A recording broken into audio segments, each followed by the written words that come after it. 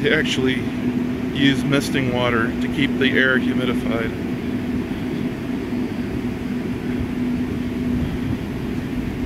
And there's their air handlers.